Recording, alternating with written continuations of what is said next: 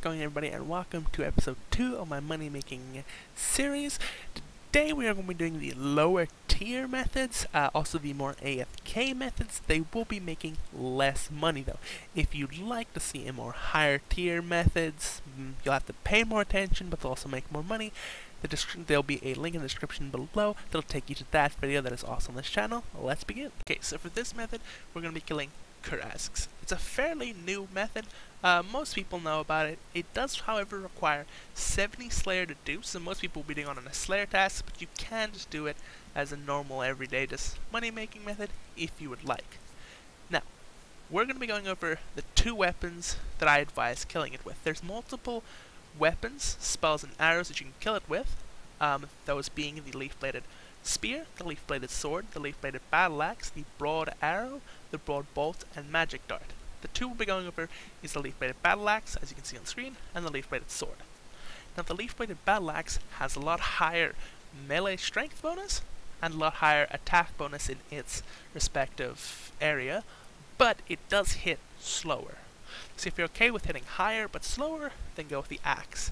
The axe also costs more and has a it has the exact same Slayer level to use, but it also has a 65 attack level when the leaf-bladed sword only has a 50 attack level, but if you have 70 range, you will probably have these stats, so it, it wouldn't matter. You'll at least have the 55 Slayer. So the leaf-bladed axe is these are the stats for it. The leaf-bladed sword has a bit lower stats, has a lot lower strength bonus, but does hit substantially faster. So I, I normally go with the sword, but just because attack speed is pretty nice, but if you'd like to go with the attack damage, you can do that. Okay, so here's the Void setup. Sorry for the fire cape, but it is uh, December 25th when this is being uh, filmed on Christmas Day, and at Jagex has their little changing a couple things like the tree and the fire capes to have party hats and whatnot to make it nice and Christmas-esque. So, we have the Void, we have the leaf-bladed sword. Now, if you want the leaf-bladed axe, just change this getup, just have the exact same getup, just have the leaf-bladed axe instead of the leaf-bladed sword. So you have Void, the, the sword, Dragon Boots, Berserker Ring, preferably Eye. If you don't have Eye though, that's perfectly fine. Eye you just get from enchanting it at Nightmare Zone. You have the Dragon Defender, you'll have your Fire Cape, and you'll have whatever blessing you want. The blessing doesn't matter. This is a decent method. This will get you a fair, this is pretty good for your strength bonus, but if you have, or your attack, and the amount of damage you'll do, this is the better method, unless you want to use bandos. Uh, but this is a good method. If, however, you find that you're getting hit a little bit too hard, you can always just use Barrows, which all we're doing is we're just changing over for Barrows gloves, or whatever the best gloves you have, a combat bracelet or whatever. Um, your Barrows of your choice, I've just picked Torag's because it's pretty cheap and it's basically the same stats. Uh, the other sets are better, it's just this just shows for Barrows, and then you'll want a Neitiznot helm. So for the inventory, you do not want a spec weapon because obviously you can only attack with leaf-bladed uh, melee weapons or the Slayer Dart or the broad arrows and bolts. So, no spec weapon, you'll just want your three potions, you'll want to have some monkfish and some lobsters because you won't, if you're a higher level, you won't take that much damage here, especially if you're bringing bones to peaches. If you have that unlocked, you can use it here, and it is a pretty good method because they do drop 100% bones. So just take the runes for bones to peaches and for high alchs, as you can see in the bottom left hand corner, I have the high alchs, but not the bones for peaches. So if you do have bones to peaches taken, if you don't, it's not that big of an issue because the Slayer ring does get you pretty close to the entrance to the cave, and then you just simply have to run there, kill them, and just bank every time, and just rinse and repeat. Okay, and here's how you want to get to Kuras, you can see that they're at the far left side of the dungeon. Uh, you just want to use your slayering, whatever method you're using to get to the Fremennik Slayer dungeon, and then you just simply want to run there. If you have the agility level, the 62 or the 81, then you can use those gaps. If not, you can just run around and you can get there. And once you get there, just kill them until your inventory is full of stuff. Bank, just rinse and repeat and this is a pretty good money making method and also fairly AFK. Okay, so some of you might be wondering what like this gear, what is it? Most of you know what I'm what I'm going here. Barrows. Now, you're gonna say, but you have a magic weapon and you have melee armor. Yes, you have a good prayer bonus, which you do need for Barrows, but why? You don't need a high magic attack bonus for Barrows. you actually need no magic attack bonus for Barrows, hence why you'll see people doing it in really heavy armor, that gives you negative magic bonus because you don't need the magic bonus. Now, the kite shield is the only thing that really the body and armor you can upgrade if you'd like to. This just gives you a nice bit of prayer bonus. The ring you can upgrade as well if you'd like to. This just it doesn't really there isn't really a ring that affects us too much. A ring of life is just you know a safety thing. Uh, dragon boots if you'd like to upgrade that, go for it. Barrow's gloves is the gloves I would recommend because we're also going to be changing over to melee. The fire cape again you don't need any magic bonus so best melee, melee cape you're going to be using melee for this as well. Why not use it? Same with the fury. Now, the kite shield, that you can make a DFS if you'd like to. I just don't have one, so I'm just using the Rune Kite Shield.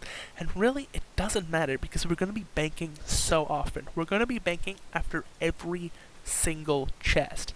Because we're going to be using the Barrows teleport on the Arceuus spellbook.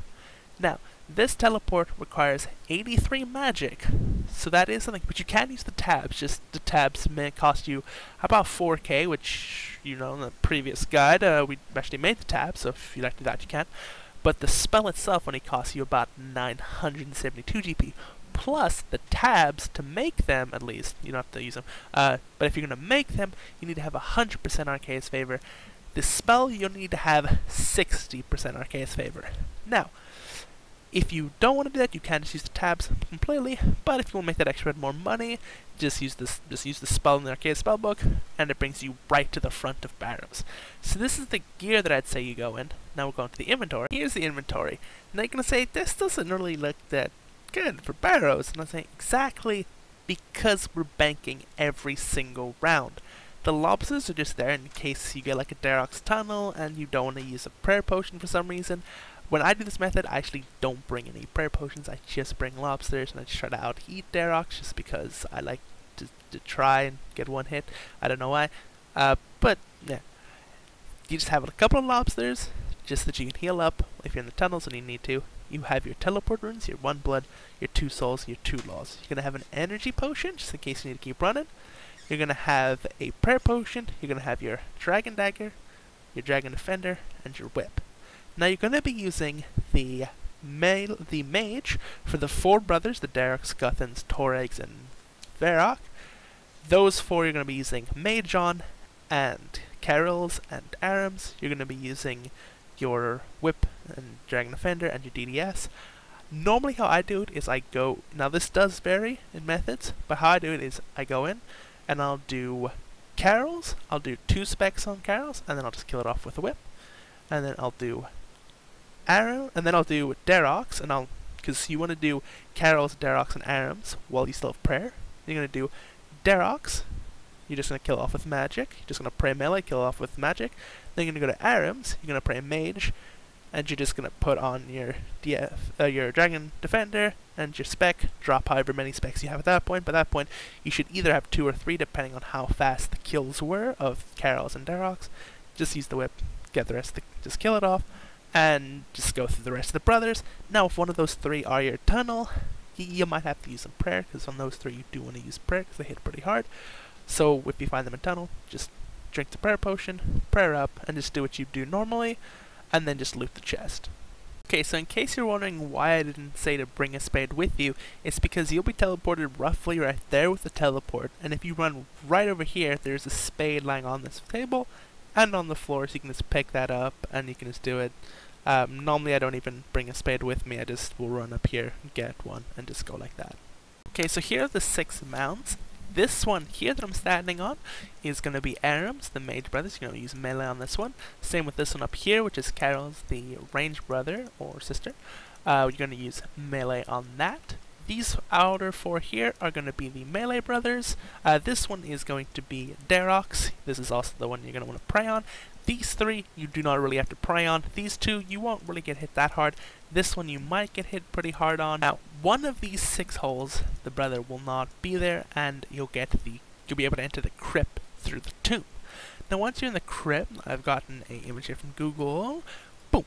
This is what it will look like. You'll come down in one of the four ladder rooms you'll have to go through the doors. You see how the doors are greens? Now, either one of those doors, three of those doors will be green, and one of the ways you won't be able to go. And you basically just have to find your way around. If you're using a, a client like, let's say, Conduit or something, that it'll tell you which doors to go through.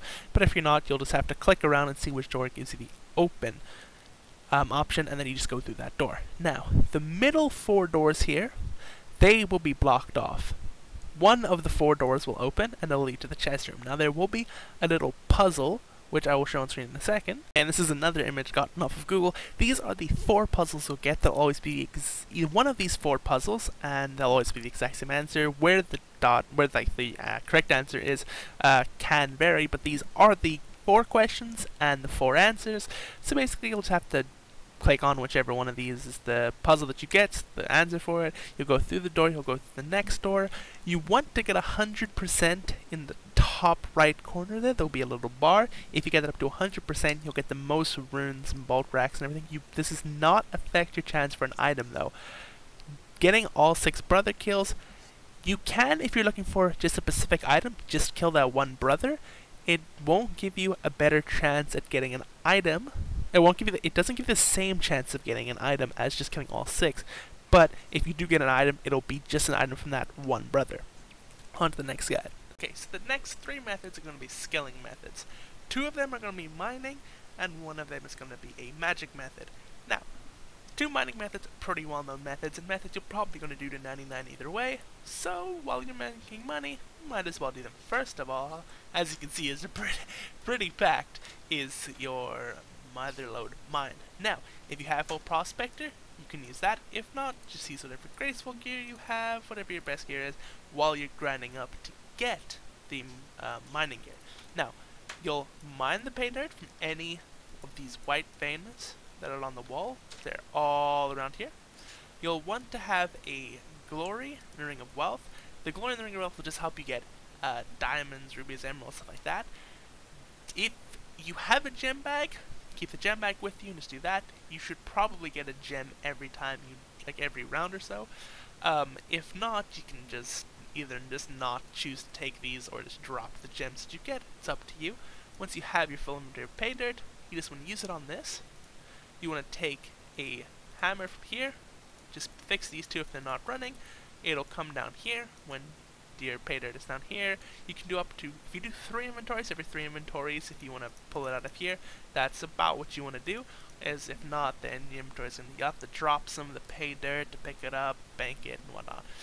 You're going to get nuggets. Now the nuggets you can trade with Prospector Percy over here, and you can buy either your Prospector gear, which is going to give you more mining XP, uh, which is a, and also is part of a Falador task, so it's very good to get. And once you have that, then you can get your coal bag and your gem bag. These two are going to be, your coal bag is going to be very good to get for a late, for a method that's going to be in a different guide, uh, the, uh, the, wow, the smithing method, uh, the blast furnace, there we go, um, so that you can just put coal in that, it'll save you a lot of time. The gem bag is also good for Slayer and whatnot. This is just a pretty good method, it gets you a good bit of mining experience, but it also gets you a lot of ores, which is really nice. The higher mining level you are, the better the better ores you're gonna get. Uh, the higher mining level you are, just get use the best pick you can. Dragon pick isn't that much. If you can't afford the dragon pick, just use the rune pick like this guy's doing, and you'll be perfectly fine. So the next method, also mining method, will be the gem mining. Uh, also another great method to train your mining, so it might as well be done while you're leveling, right? You just basically, once you have Karamja Gloves 3, this works. So until you have those, just use the Mother Lode Mine method. Um, you can get the Prospector gear. It will make your mining a little bit faster, and really why not? You can, if you have the gem bag, this is also a great spot to use it, because you just have to use this deposit chest right here, a little bit less. Basically, you just want to mine. Now, some of the rocks you'll mine pretty fast, some of them you mine pretty slow, but you can get jade and opal, but you can get almost anything. I believe you can also get uncut onyxes, but they are like one in a couple million. It's you you don't don't bank on it basically. But you'll get if you just bank all of your gems. That's probably it's not the most efficient way to do it. The most efficient way would just be to drop all your gems in every bank, let's face it. But there's no reason not to if you just drop the opals and the jades and whatnot and just keep the, your normal, like your base gems, like your emeralds, your rubies, your sapphires, your diamonds. Bank those. Uh, if you want to, you can just bank all of them, because 28, but by the time you get around here, you should have about 28. You can just bank and just re-go around, and just keep doing that. But you will need Chrome's Diary um, hard complete, the third set in it. Uh, so this is a fairly high S method, but it's not really that hard. And the last method here, um, is pretty pretty well known, pretty obvious. It's just gonna be you're charging your air orbs. And in case you don't know, you're just gonna come to Edgeville. You're gonna want some uh, rate reduction gear. I wouldn't say bring your graceful just because you normally don't need it, and you are going to be in the wilderness. You can be PK depending on what level you are. You're just going to want a staff of air, a amulet of glory, a ring of dueling, and I said like a spider cape and boots of lightness, just two things that doesn't really matter if you do lose. You're going to want to bring exactly 81 cosmic runes. That gives you all the charges you're going to need for the charge of air orbs. You're going to want 27 unpowered air orbs. You're just going to want to follow the path I'm taking here. And we're just going to climb up here and we're just going to charge the air orbs. Now once you have your air orbs, uh, you can either choose to, if you did decide to bring more weight reduction gear, or however you're doing it, if you're using staminas, just do that. Or how I do it is I just teleport using the Ring of Dueling to Clan Wars, just go through the portal, re-energize up there, and then teleport back to Edgeville. Just come here, use the spell on the obelisk, and you can basically just AFK, once click all. You can do faster by like clicking on clicking on this, ba ba ba, and then just doing this and just repeating blah blah. But you don't need to. You can just AFK it.